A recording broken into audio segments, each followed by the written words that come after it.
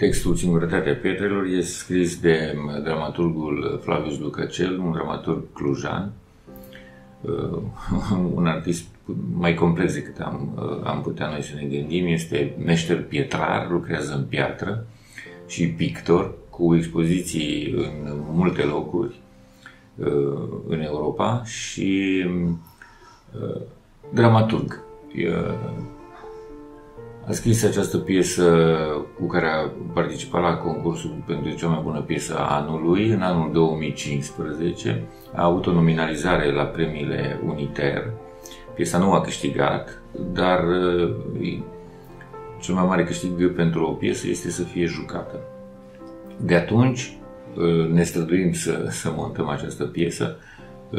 Sunt puține teatre care care montează dramaturgii în viață, mai ales dramaturgii români. Nu vreau să fiu rău, dar sigur că e jucat foarte mult Matei Vișniec în lume și în România, însă cred că ar trebui să existe un program național de promovare a, a piesei românești. Am reușit la, la Târgu Jiu să montăm piesa. Pe scurt, este vorba despre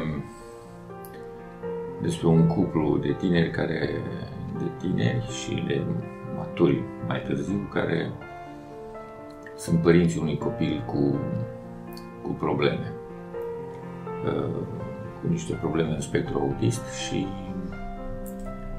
uh, trebuie să spun că nu. Ăsta este motivul pentru care uh, noi am abordat această piesă, noi, echipa, echipa teatrului de la Târgu Jiu trăim niște vremuri pe care eu cred că încercăm să le înțelegem. Eu cred că ceva se întâmplă, ceva pleznește continuu, ceva va plezni foarte, foarte puternic, va, va fi destul de complicat pentru, pentru om. Și ăsta este motivul pentru care am făcut un spectacol care vorbește despre despre disoluția cuplului și despre forța pe care ar trebui să o aibă un cuplu pentru a păstra o relație. Este un spectacol despre prezența copilului în viața unui cuplu și despre faptul că, deși multă lume în mod tradițional spune că un copil trebuie să unească un cuplu, acest acest fapt nu este obligatoriu. Copiii nu au, nu au obligația de a uni un cuplu. Cuplul are obligația să își găsească traseele pe care ar trebui să le urmeze pentru a-și păstra iubirea și dragostea. Spectacolul vorbește despre iubirea posibilă și despre faptul că, deși doi oameni se iubesc, ar putea să nu se suporte. Textul are,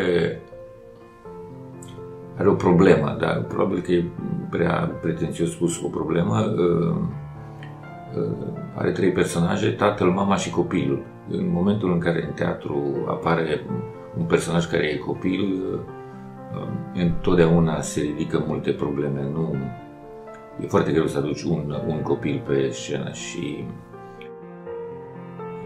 prezența copilului m-a determinat multă vreme când am pregătit spectacolul să, să, să răspund la întrebări uh, uh, care în aparență nu aveau răspuns. Și până la urmă uh, am optat în modul în care am construit spectacolul, în ceea ce este concepția regizorală a acestui spectacol, pentru un copil matur. Adică copilul este, un, este jucat de un actor matur, în timp ce uh, părinții sunt uh, jucați de doi actori uh, foarte tineri, sunt doi actori până în 30 de, de ani. Și de aici toate soluțiile regizorale, soluțiile actoricești, care vizează planurile temporale ale, ale piesei și ale, ale spectacolului.